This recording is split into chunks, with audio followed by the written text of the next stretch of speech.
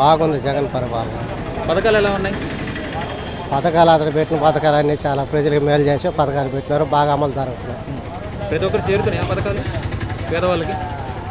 ప్రతి ఒక్కరికానంటే కొన్ని అవకతవకలు జరుగుతుంటాయి. ఇప్పుడు మా అబ్బాయి అన్నాడు ప్రస్తుతానికైతే ఆ మూడే పడలేదు. అంటే కారణం ఏం చెప్పారు? కారణం అంటే పేరు ఎలిజిబుల్ లిస్ట్లో ఉంది డబ్బులు పడినట్టుగా చూపిస్తుంది పళ్ళ సచివాలయాల కాడ తిరిగినాము అన్ని మండల ఆఫీసుల కాడ అన్ని దగ్గర తిరిగినాము.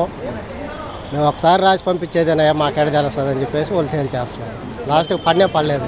మరి అడిగా పంపిస్తున్నాము మళ్ళీ నెక్స్ట్ టైం ముందు పడిన వాళ్ళకి ముప్పై వేలు మళ్ళీ పడుతుందని చెప్పేసి చెప్తున్నారు.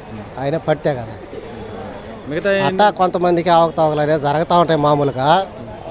పరిపాలన అయితే బాగుంది సార్ది. ఇది వాలంటీర్ వ్యవస్థ ఎలా ఉంది? వాళ్ళ పనితీరు ఎలా ఉంది? వాలంటరీ వ్యవస్థ కూడా బ్రహ్మాండంగా చేస్తూ ఉన్నారు ఇప్పుడు ప్రజల్లో కానీ. అంటే ఇప్పుడు వాలంటరీ వ్యవస్థ వచ్చిన తర్వాత మనకు నేరుగా ఇంటి దగ్గరికి తీసుకొచ్చి అందరికీ ఇస్తూ ఉన్నారు. అంతకుముందు అంటే అది యదవ పరిపాలన కాబట్టి ఆ పరిపాలన ఏది ప్రజలకు అందేది లేదు. సక్రంగా లేదు అంతకుముందు ఇప్పుడు జగన్ అన్న వచ్చిన తర్వాత బ్రహ్మాండంగా పథకాలు అమలు చేసేది కానీ అన్నీ ప్రశాంతంగా బాగా జరుగుతున్నాయి. ఈసారి కూడా ఆయన ముఖ్యమంత్రి కాబోయేది. ఇప్పుడు ప్రస్తుతానికి వైఎస్ఆర్ పార్టీ పక్కన ఎవరిని డిసైడ్ అవ్వలే కదా ఇంకా. వనభాగ లక్ష్మి అంటే ఆయన కనీసం డిపాజిట్ కూడా వచ్చే అవకాశమే లేదు అసలు. రాదు. కాలస్తు నియోజకవర్గంలో ప్రస్తుతానికైతే టీడీపీకి బీజేపీకి ఏమీ రాదు. వైఎస్ఆర్ పార్టీ పక్కాగా బంపర్ మెజార్టీతో మళ్ళా వస్తుంది అంతే. కాలస్తు నియోజకవర్గం మొత్తానికి. పవన్ కళ్యాణ్కి శాంతి ఇస్తారు సార్. ఇప్పుడు పవన్ కళ్యాణ్ ఆడిన షూటింగ్లు సినిమాలు తీసుకోవడం రాజకీయాల్లోకి వస్తే అతనికి ఎవరేస్తారు ఓట్లు. ఎవడు ఏడు. వేస్తే ఎవరన్నా ఈ పిల్లనాయాలు లేదన్నా వేయాల్సిందే అంతే. ఇంకెవరు వేస్తారు? మా వయసు వాళ్ళు ఎవరు వేస్తారు. ఇప్పుడు వైసీపీ అధికారంలోకి వచ్చిన తర్వాత రేషన్ కార్డులు చాలా అన్యాయంగా తొలగించేశారని చెప్పి ప్రతిపక్షాలు మీ అభిప్రాయం? వైఎస్ఆర్ పార్టీ వచ్చిన తర్వాత ఇంతకు ముందు లేని వాళ్ళకి కూడా ఇప్పుడు రేషన్ కార్డులు అమలు చేసి చాలా మందికి వస్తున్నాయి కానీ తొలగి దోశారని ఎవరు చెప్పారు? ఎవరు చెప్పలేదా? ప్రతిపక్షాలు అంటున్నారు ప్రతిపక్షాలు వంద విమర్శలు చేస్తూ ఉంటారు. అవన్నీ మనం పట్టించుకుంటే జరగదు కదా. నెక్స్ట్ రాబోయే సీఎం జగన్మోహన్ రెడ్డి వస్తారు ఇక్కడ మా లోకల్లో ఎమ్మెల్యేనే వస్తారు. ఈ ప్రతిపక్షాలు ఒక- ఇప్పుడు మామూలుగా కుక్క దాన్ని పోతూ ఉంటారు అరుచుకుంటా ఉండాల్సింది ఇంకేం జరుగుతాయి? అంతే జరిగేది. ముప్పై లక్షలు ఇళ్ళ పట్టాలు ఇస్తామన్నారు ఇరవై ఐదో తారీఖు. ఇవ్వగలుగుతారా? ఈసారి కూడా పోస్ట్ పోన్ అవుతుంది? ఎలా ఉంది పరిస్థితి? ముప్పై లక్షలు ఇళ్ళ పట్టాలు ఈ సంవత్సరానికి ఇస్తాడు నెక్స్ట్ రాబోయే ఇంక నాలుగు సంవత్సరాలు ఇంక లక్ష పట్టాలు కూడా ఇస్తారు. ఇవన్నీ ఆయన చేసే పథకాలు అన్నీ అమలు చేసే తీరుని బట్టి చూస్తూ ఉంటే ప్రతిపక్షాలు ఓర్చుకోలేక అతని మీద ఏదో నిందలు మోపి వైఎస్ఆర్ పార్టీ వాళ్ళు ఈ విధంగా మాట్లాడుతూ ఉంటారు. ఆ, అంతే జరిగేది ఇంకేముంది. వాళ్ళ పార్టీ ఉన్న రోజులు అసలు కాలస్తు డెవలప్ కానీ ప్రజలు లేక ఆ పథకాలు కానీ ఏది చేయలేదు.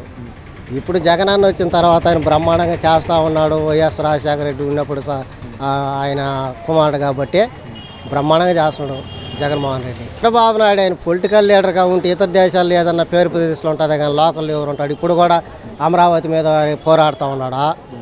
యుద్ధం చేస్తున్నాడు వాళ్ళు తీసుకొచ్చా. రేపు ఇరవై తొమ్మిది గ్రామాల వాళ్ళు వేస్తే గెలిచిపోతున్నాడు ఆయన. గెలిచేది ఛాన్సే లేదు. అక్కడికి వెళ్ళవలసిందే కానీ ఇక్కడ డిపాజిట్లు కూడా అంతే.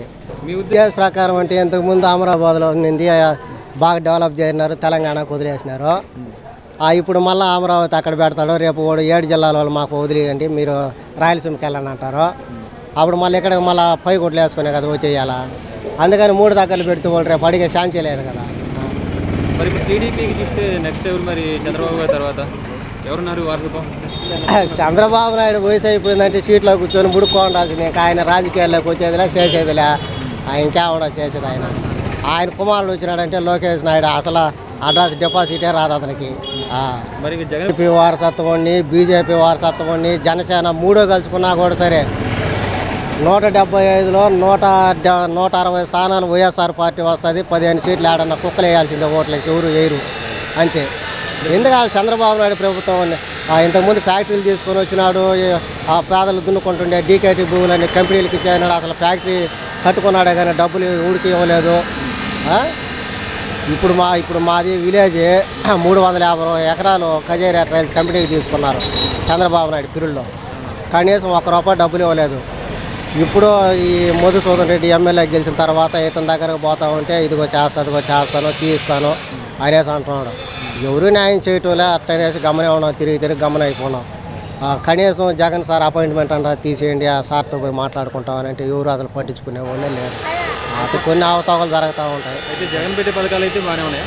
బ్రహ్మాండంగా ఉన్నాయండి. ఆ, జగనన్న పెట్టే పథకాలు. రాబోయే రోజుల్లో అందరికీ న్యాయం చేస్తారు జరుగుతూ ఉంటాయి. జగన్ పాలన అయితే బాగుంది. బాగుంది. అన్న పేదలు చేరుతున్నాయా పథకాలు? అని జరుగుతున్నాయి మాకు కూడా జరుగుతున్నది అన్న.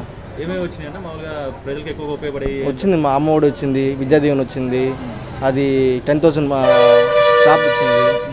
అన్నీ వస్తున్నాయి. అంటే ప్రతి ఒక్క పథకం ఎవరెవరికి వచ్చారు ఆ, ప్రతి ఒక్కటి జరుగుతున్నది ప్రతి ఒక్క పథకం జరుగుతుంది ప్రతి ఒక్కరికి.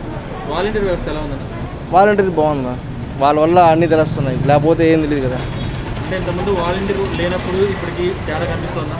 చాలా తెలుస్తుందా వాలంటీర్ లేకపోతే మనమే పోయి అన్నీ ఎత్తుక్కోవాలా?